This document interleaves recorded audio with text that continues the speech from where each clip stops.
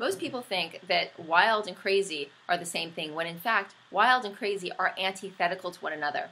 To be crazy is a result of domestication. Wildness, true wildness, means that you are part of the interconnected network of life, you have not been separated from your natural habitat, you have not been domesticated. Wild is the foundation we need in order to not become crazy.